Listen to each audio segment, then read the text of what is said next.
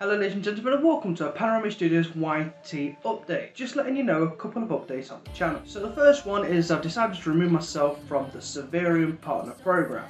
This is because I feel obligated to do videos on Survarium all the time if I'm in the partnership. And I don't feel I can get anything else in if I'm in the Survarium Partner Program. So as I said, I've taken the decision to back out of the program. But I'm still going to end up doing videos on it anyway because that's just what I want to do. Because it's Survarium, I like the game, I enjoy it. There's actually a couple of videos I need to edit. One of them's okay, one of them I rage and just rage quit the game really. I haven't been on it since. But the main reason why I backed out of the program is because I want to branch out to more videos. I don't just want to be a Survarium channel. I got some ideas for let's say Call of Duty. I got some ideas for some vlogs, maybe a day in the life. Oh, and I even got this little fella.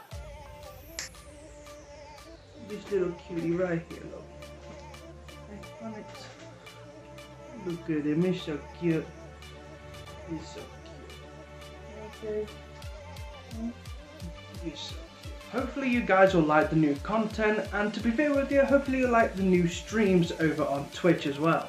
Yes, that's right baby, I'm coming back to live streaming. Hopefully there's a bot out there that was kind of like Revlo bot when it actually shut down because it was like a gambling bot and whatnot so it was pretty good. The bot gave me a lot with my community basically giving them points and then they spend the points to get into certain parts and stay on my Twitch page and stuff like that. But I need to just basically refresh the whole entire thing, find a new bot, basically get myself out there again with the right type of stuff for the community so people can stay engaged. Go follow me over on Twitch, it's Luke A. Brown as you see just here on the screen right now. I'm going to be doing some good shit on this so you better follow. And I'll see you on there very soon. But now getting back into regular videos and everything, I would like everybody to go down into the comment section right now. Just let me know, what did you want to see on my channel? Brand new videos, well, just brand new videos really. So what do you want to see? Comment down below and tell me what you want to see. I don't expect any comments, but if there are comments down there, Probably the most liked is what I'll do first, and then I'll go down and look at the recommendations of what other people have put.